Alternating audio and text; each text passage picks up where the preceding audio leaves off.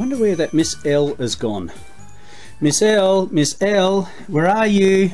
Ah, Ta-da! ta-da! Do you want to come and do an experiment with me? Alright, All right, come on, let's go to the lab.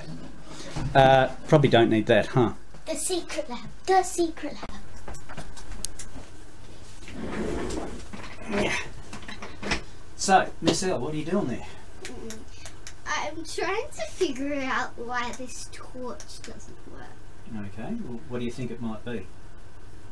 Flat. Okay, so it might be the battery that's crook. Hmm, what should we do? Well, fix it. Okay, so what do we need? A Battery. A battery. I've got a battery. Hang on a sec. Um. There you go. Uh, why would that be a battery? What is it? It's a potato. Are you sure? Yes. I reckon it's a battery. No. It's it's a battery. I'm telling you, it's a battery. I don't think it's a battery. Well, I'll show you. Okay. So Yes. this is a potato. There's no denying it. It's definitely a potato. Smells like a potato. Tastes like a potato. Ah! And it is a potato. There's no denying it. So how can we make a battery out of it? Any thoughts? No. All right. So what are you doing? So to make a battery, what you need is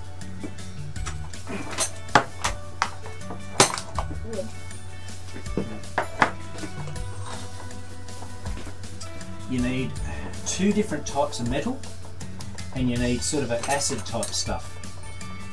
We need some way to measure what our potato or our potato battery is producing and we can do that by using a multimeter or in this case we're going to be using a voltmeter. What that'll do is it'll tell us how much voltage is available or being produced by our potato battery. So how does this work?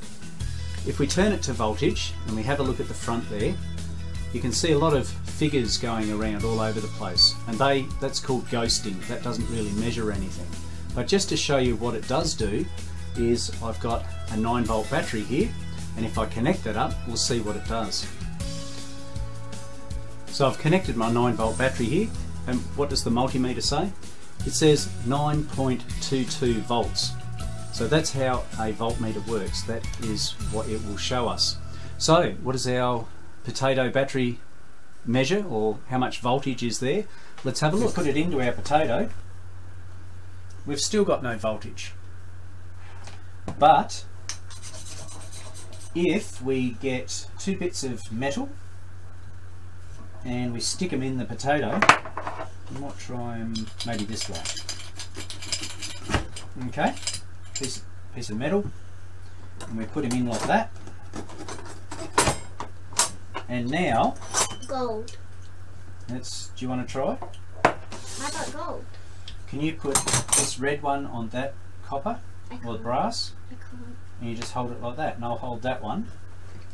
That's producing a little over 0.3 of a volt. I've got an idea. Why don't we use some different types of metal to stick in the potato? Yeah, sounds good. So we'll try, oh, fell over. We'll try another piece of metal. Just watch your fingers there. We will try The gold. Brass. Try brass. Okay, let's try brass. Stick that in. And you can try that again. Now we're measuring about 0.45 of a volt. So that's pretty good. Just for something different, let's try a lemon. Let's see what that does.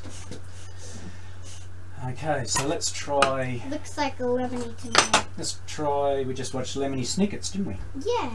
Okay, so let's try copper. Eh, Is that copper? that's copper. And let's try Ooh. maybe galvanised iron. Look- So we've we've got. Um, you want to put your lead on there again, please? Aw. So you can put that one on there. Smells lemony to me. Smells lemony fresh, doesn't it? Well, that's pretty impressive. That's 0.9 of a volt, and that's from our lemon, of course. Excellent. That's what we should do is we'll get rid of we'll get rid of the aluminium and we'll see if the potato's any good. If we just use some copper Ugh, and a aluminium. nail. So do you want to try that again, please? Do you want to try your lead on there, please? So that's still with the potato, but we're getting about 0.6 of a volt there. So you can see it depends on what the acid is made of, the different types of acid. But maybe we might might have enough to light up an LED. So we're just about a looking together. watermelon? A watermelon. Oh, I don't think that's got enough acid in it. But we'll try and connect these together now. Can I have the lemon, please? We'll just get rid of some of this stuff over here. I'll get rid of those. He's pretty much ready. Thank you. Alright, so we'll put that back in there. Otherwise we can't make a, a battery. So we'll connect that Oh, one to that one.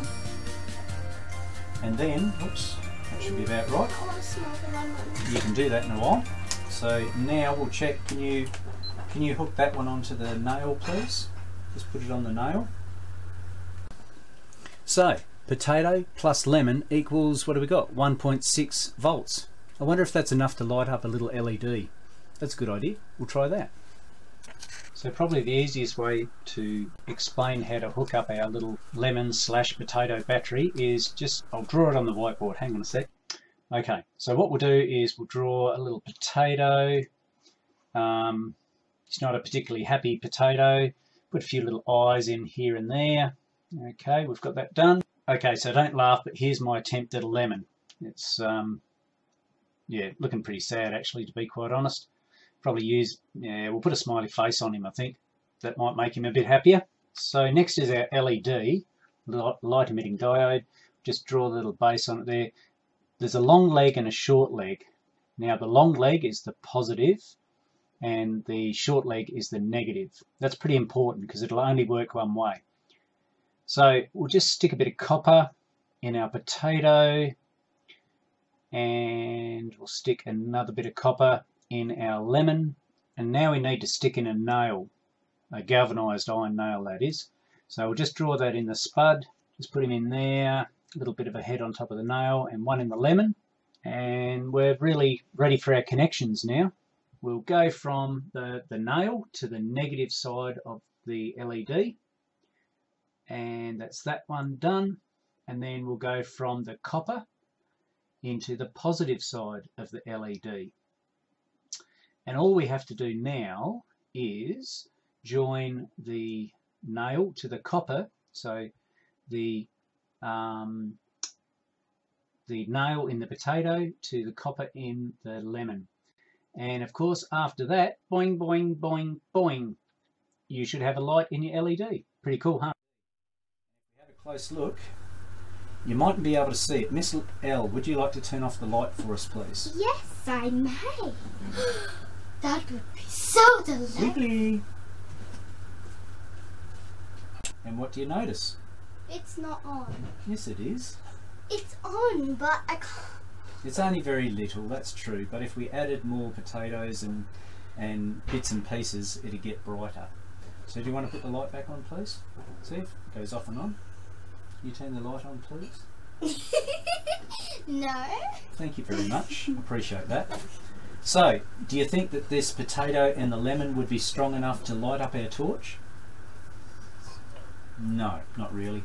You can see it's only very dull, isn't it? Yep. But we've made a battery. Should I get you a proper battery now? Yes. Okay, back in a sec.